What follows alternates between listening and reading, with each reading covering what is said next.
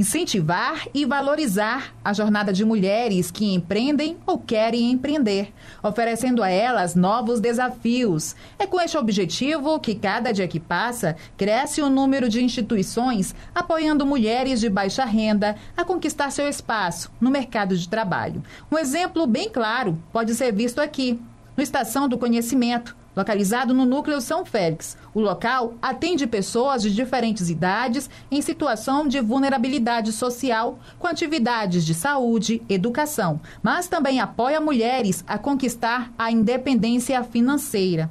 Estas imagens aqui foram realizadas na última semana e mostram detalhes de como foi realizado o curso de confeitaria, um trabalho que tem a meta de impulsionar o empreendedorismo feminino também na periferia.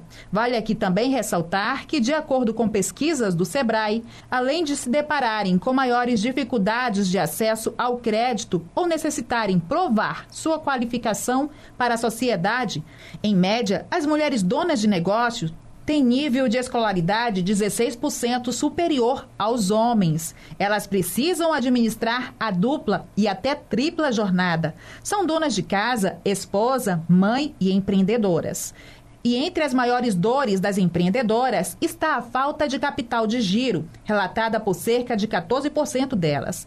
Mas, ao mesmo tempo que as mulheres são desafiadas a superar limites, que não são encontrados no universo masculino, a competência para inovar e desafiar faz com que elas possam ter uma retomada mais rápida no contexto de negócios. A pesquisa aponta que as mulheres demonstram maior competência em implantar programas de inovação em seus negócios e na reabertura das empresas. Motivo que vem fazendo as mulheres não desistirem nos primeiros obstáculos após a conclusão de cursos como este, o de confeitaria, citado nesta matéria.